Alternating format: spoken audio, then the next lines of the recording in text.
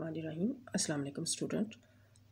Hope you are all fine with grace of Allah. Our today topic is lungs please open your books lungs lungs are an important part of our respiratory system respiratory system यानी कि सांस लेने वाला जो system हमारा होता है, तनफस का अमल होता है, तनफस, ठीक है?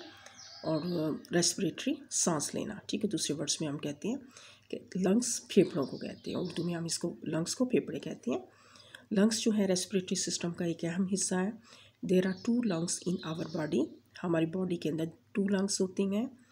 They are position around the heart और उनकी पोजिशन जो है वो हार्ट के जो है वो करीब होती है, ठीक है? हार्ट है और ये टू जो है वो लंग्स प्रेजेंट है।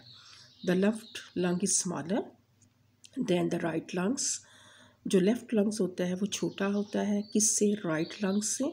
Because of the space taken by the heart क्योंकि लेफ़्ट साइड पे जो हमारा होता है हार्ट प्रेजेंट होता है, जिसकी वजह से वो हार्ट जो होता है, वो लेफ़्ट साइड पे थोड़ा सा होता है, और उस वजह से हमारा लेफ़्ट लंग्स जो होता है, वो क्या होता है? छोटा होता है।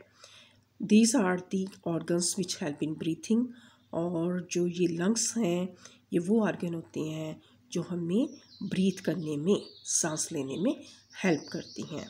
Their function is to inhale oxygen और लंग्स का काम क्या है?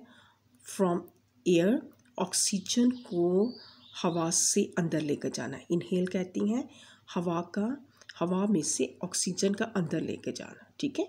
ऑक्सीजन का हवा में से अंदर लेकर जाना इनटू द ब्लड ब्लड के अंदर एंड टू एक्सहेल एक्सहेल बाहर निकालना carbon dioxide from blood into the air blood से कार्बन डाइऑक्साइड का बाहर हवा में निकालना जो है, उसको हम क्या कहते हैं? एक्सेल तो लंग्स जो है रेस्पिरेटरी सिस्टम का एक अहम हिस्सा है।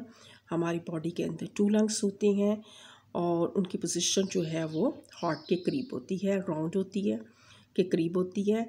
लेफ़्ट लंग जो होता है, वो राइट लंग से छोटा होता है और उसकी वजह ये है कि लेफ़्ट साइड पे हार्ट ने स्पेस ली होती है।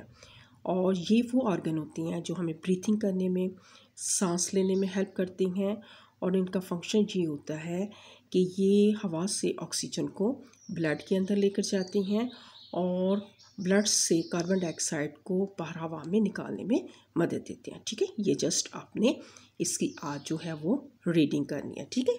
आगे टंग है। Tongue is a sensory organ to the taste food ठीक है? जो सेंसरी है महसूस करने के लिए, हमारी ज़बान जो होती है ये हमारी फ़ूड को टेस्ट करने के लिए इस्तेमाल होती है। It is present in the mouth और ये हमारे मुँह के अंदर होती है।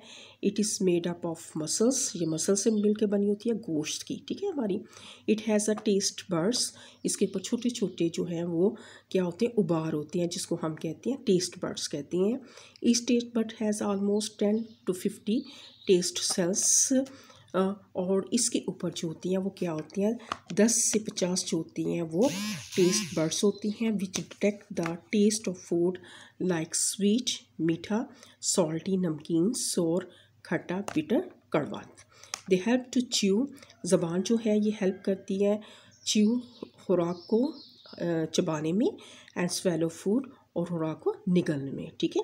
कि ज़बान जो है, ये खुराक को च्यू करने में भी, चबाने में भी और खुराक को निगलने में भी हेल्प करती है।